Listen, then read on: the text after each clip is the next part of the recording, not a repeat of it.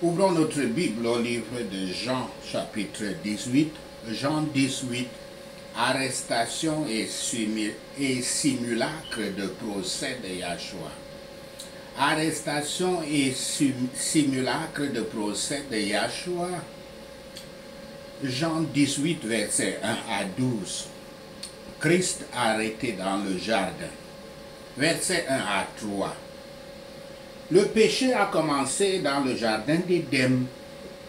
Là, la malédiction a été prononcée, là, le Rédempteur a été promis, et dans un jardin qui avait, pro- qui avait promis à la semence d'entrer en conflit avec le vieux serpent. Christ a également été enterré dans un jardin.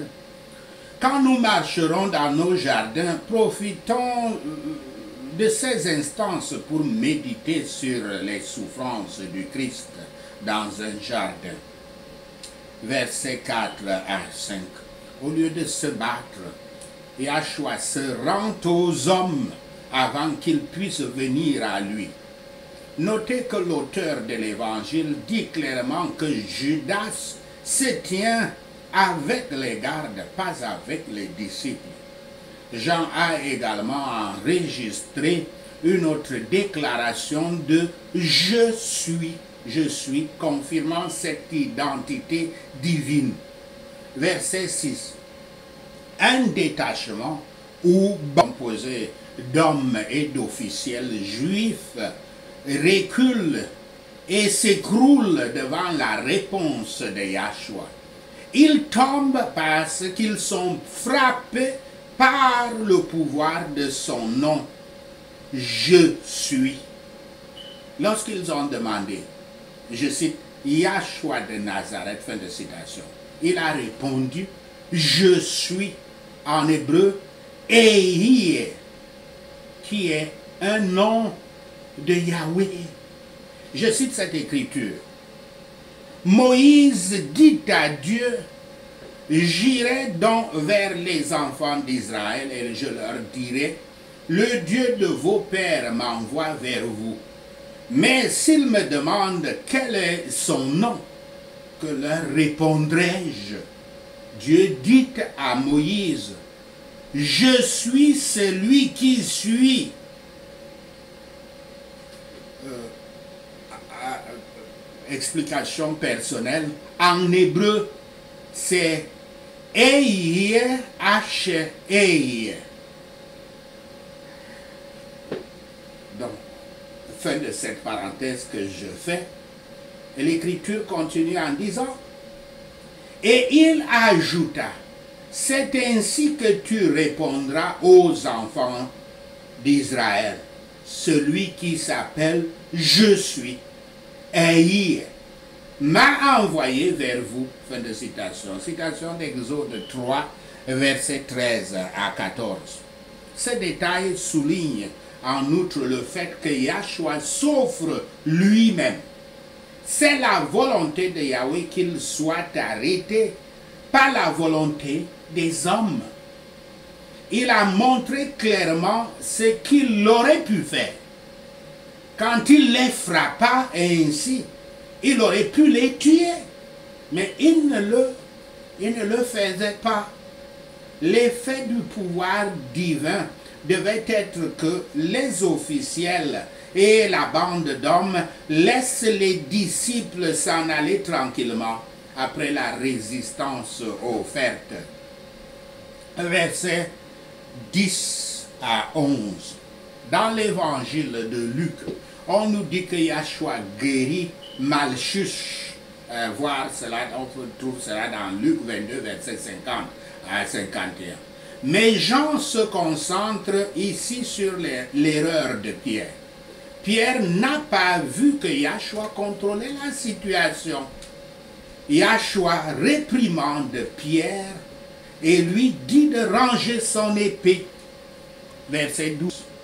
Les hommes et les officiers juifs du grand prêtre travaillèrent ensemble pour arrêter Yahshua. Notre Seigneur Yahshua, sachant tout ce qui arri- arrivait sur lui, sortit et demanda Qui cherchez-vous? Citation, qui cherchez-vous?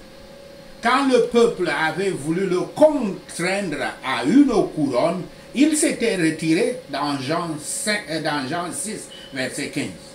Mais quand ils étaient venus pour le forcer à une croix, il s'était livré.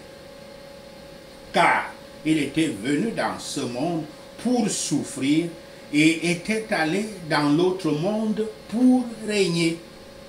Christ nous a donné un exemple de douceur dans les souffrances et un modèle de soumission à la volonté de Yahweh dans tout ce qui nous concerne. Ce n'est qu'une tasse, une petite, une petite tasse, une petite matière. C'est une coupe qui nous est donnée. Euh, les souffrances sont des cadeaux. Elle nous est donnée par un Père qui a l'autorité d'un Père et qui, et qui ne nous euh, fait pas de tort. L'affliction d'un Père et, elle, ne nous veut pas de mal. À partir de l'exemple de notre Sauveur, nous devrions apprendre à recevoir nos afflictions plus légères et à nous demander si nous devrions nous opposer à la volonté de notre Père Yahweh ou nous défier de son amour. Nous étions liés par les cordes de nos iniquités avec le joug de nos transgressions par le, joug, par le joug de notre transgression. Yahshua étant fait pour nous une offrande pour le péché, afin de nous libérer de ces liens, lui-même soumis pour être lié, euh, lui-même s'était soumis pour être lié pour nous. À ces liens, nous devons notre liberté. Ainsi, le Fils nous rend libres. Jean 18, verset 13 à 27. Yahshua devant Anas et Caïphe. Caïphas. Anas et Caïphas. Verset 13. Anas, le beau-frère de Caïphas, était un homme puissant. Pendant plusieurs années, il avait été grand prêtre et euh, il avait continué à exercer son influence par le truchement du mandat de son beau-fils. Caïphas. Le contrôle d'Anas sur Caïphe n'était pas un secret pour le peuple de, à, leur époque. Verset 15. L'évangile de Jean passe de l'introduction des principaux chefs juifs à l'histoire de l'échec de Pierre. Une histoire qui montre comment même avec les meilleures intentions, il est impossible d'être fidèle à Yahweh par ses propres moyens. Pierre suit derrière, accompagné d'un disciple inconnu. Inconnu, euh, qui peut ne pas être l'un des onze, les onze appelés apôtres. D'autres disciples de Yahshua sont également appelés disciples. Euh, évidemment, euh, par exemple, Nicodème dans Jean 7, verset 50 et Joseph d'Arimathée dans, euh, dans Jean 19, verset 38. Verset 22. Il était interdit de frapper un prisonnier. Une raison, une, une, une autre, une autre illégalité dans le procès de Yahshua. Le libellé utilisé ici indique que l'officier a frappé durement. Yahshua, il a frappé durement. Car on pouvait euh, frapper un criminel insubordonné qui grondait les autorités. Il est possible que l'agent ait utilisé un bâton plutôt que ses mains pour le frapper. Simon Pierre a nié son maître les détails ont été relevés dans euh, les, remarques sur les autres évangiles. Le commencement du péché est comme laisser couler de l'eau. Le péché de mentir est un péché fécond. Un mensonge a besoin d'un autre pour le soutenir et d'un autre. Si un appel à s'exposer au danger est clair, nous pouvons espérer que Yahweh nous permettra de l'honorer. Si ce n'est pas le cas, nous pouvons craindre que Yahweh nous laisse nous moquer de nous-mêmes. Il n'y a pas de mensonge dont vous pouvez vous excuser parce que ce n'est pas grave ou, ou, qu'il faut sauver ma vie et espérer que Yahweh ne le voit pas euh, comme un péché. Le mensonge est un péché, un point, un trait. Il ne disait rien des miracles de Yahshua par lesquels il avait fait tant de bien et qui pouvait, qui prouvait, prouvait sa doctrine. Ainsi, les ennemis du Christ, alors qu'ils se querellent avec la vérité, ferment délibérément leurs yeux contre elle. Il fait appel à ceux qui l'ont entendu. La doctrine de Yahshua peut faire appel à tous ceux qui la connaissent. Et ceux qui jugent en vérité en témoignent. Notre ressentiment envers les blessures ne doit jamais être passionné. Il a raisonné avec l'homme qui l'a frappé. Nous le pouvons aussi. Jean 18, verset 28 à 40. Yahshua devant Pilate. C'est à ce stade que Pilate est introduit dans le récit. Les Juifs n'avaient pas l'autorité de faire appliquer la peine de mort. Par conséquent, les Romains devaient trouver Yahshua coupable et les Romains pouvaient ensuite l'exécuter sur la croix. Verset 28 à 32. Il était injuste de mettre à mort quelqu'un qui avait tant fait comme bien par conséquent, les Juifs cherchaient à se sauver de tout reproche. Beaucoup craignent le scandale d'une mauvaise chose plus que le péché en cette chose. Christ avait dit qu'il serait livré aux païens et ceux-ci le mettraient à mort. Par la présente, cette parole avait été accomplie.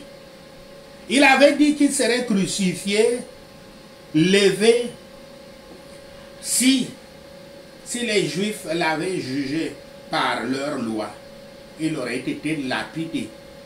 La crucifixion n'avait jamais été utilisée chez les Juifs. Il est déterminé, nous concernant, bien que non révélé à nous, quelle mort nous mourrons cela devrait nous libérer de l'inquiétude à ce sujet. Seigneur, quoi, quand et comment tu as choisi? Pour être notre question. Verset 29 à 30. L'enquête de Pilate euh, expose les motifs des dirigeants juifs. Ils disent à, Pilate par, par essence de croire notre parole ils ne sont pas intéressés par un procès, mais seulement par une exécution. Verset 33 à 40. Je cite, Es-tu le roi des Juifs? Fin de citation. Ce roi des Juifs qui a été si longtemps attendu, le Messie, le prince, l'es-tu? Est-ce que tu t'appelles ainsi? Et est-ce que tu le, tu le crois? Yahshua a répondu à ces questions avec une autre, pas pour l'évasion, mais pour que Pilate puisse considérer ce qu'il a fait. Il n'a jamais pris sur lui aucun pouvoir terrestre.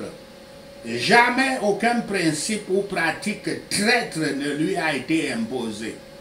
Christ a rendu compte de la nature de son royaume. Sa nature n'est pas du monde c'est un royaume dans les hommes, établi dans les cœurs, dans leur cœur, dans leur cœur et leur conscience.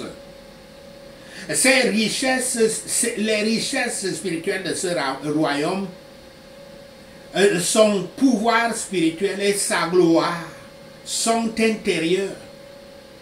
Ses supports ne sont pas mondains.